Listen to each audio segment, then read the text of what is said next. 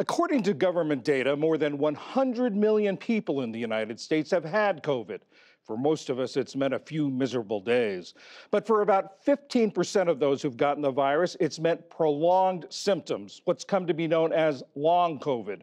More than three years into the pandemic, physicians and researchers are still struggling to understand a lot of things about the condition. Laura Santhanam, our NewsHour digital health reporter, has written a lot about long COVID. Laura, one thing they've had trouble with is defining it. Actually, what it is, there was a study in the uh, Journal of the American Medical Association recently that tries to take a step toward definition. What did they find? That's exactly right. So, you know, um, researchers at uh, Mass General Brigham in Boston, they, uh, you know, surveyed uh, thousands of long COVID patients and basically asked them through, um, you know, to tell them, you know, what are your symptoms? Um, and so what they found uh, were, um, you know, really echoing a lot of what you, you hear about from people who've been dealing with long COVID, right? Um, they took, you know, 37 symptoms, whittled them down through um, infection history and uh, statistical modeling into these 12 symptoms that they say form the hallmark of long COVID. Um, things like brain fog, dizziness, chronic cough, also this thing called post-exertional malaise. So say you, you get up to walk across the room or you read a recipe to make supper one night, it, it just wipes you out. Things that people used to could do that without, you know, even thinking about, now it just, it, they're completely exhausted. And it and it's, uh, just really points to how transformational this disease is. Um, and also we're just beginning to understand it. Researchers call this uh, um, an attempt to create a common language around how to understand this disease. Is there any correlation between long COVID and vaccination status? According to this study, there is evidence that supports that. So, you know, they, um, they took these uh, different survey responses from uh, long COVID patients and broke them into four different clusters, um, looking at types of symptoms and also severity.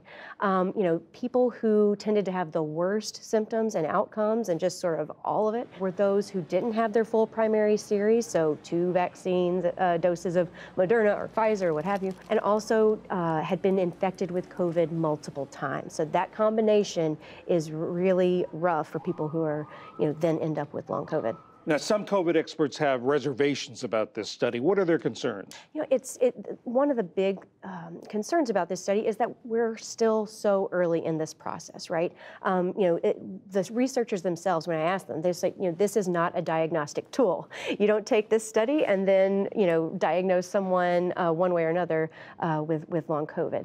Um, and so, what it does do is that it, it again forms a common language um, around how we can talk about this disease. Um, you know, create clinical trials to then better understand what are the treatments that we should be using for people who are sick with this, and then ultimately working towards creating diagnostic tests giving someone a test and then saying, do you have this or not? Another, um, uh, uh, another thing that, that, researchers will also tell you, or told me, um, you know, is that, uh, you know, they didn't use lab data uh, to see, you know, if these people did in fact have long COVID. It's just self-reported survey data, um, you know, which has its limitations in that respect. Um, but, you know, an another step in this process would be, you know, taking, um, you know, does they, do they have an immune response that suggests they have this, uh, these sorts of disorders? Now, you've talked to, and for your reporting on our website, you've talked to a lot of people who are experiencing long COVID. What did they tell you not only about their experiences, their symptoms, but about getting medical care? Yeah, it's, it's been such a struggle for so many people, um, and many of them have felt adrift in the healthcare system for some, many for as long, uh, you know, for years. Um, you know, one, you know, one patient who I talked to said that, you know, if you are lucky enough to find a physician who will listen to you, um, that's, that's that's going a long way. But so many times they are just sort of round, it's like a round robin of medical care, trying to, um, you know, create, find someone who will listen to them instead of just saying it's all in your head, um, and then get the kind of care that they need. A lot of them describe their care as trial and error. Um, many of them go to, uh, you know, Facebook groups. They describe uh, the wait for post-COVID uh, care centers as being six months or more. The wait lists certainly support those uh, those stories. Um, and it's just really been a struggle for people who, again, so many of them struggle to just get up and walk across the room, much less, you know, try and get transportation, childcare, their whole life in order so they can get um, a, an appointment that takes months in the making. Earlier, you mentioned looking for antibodies in some of these people. What else needs to be done, or what else is being done to further understand this condition, and also uh, the, figure out the best ways to treat it? That's that's a really great question. I mean, you know, that, and that's what one of the that's one of the things that this study supports is just sort of looking at these 12 symptoms.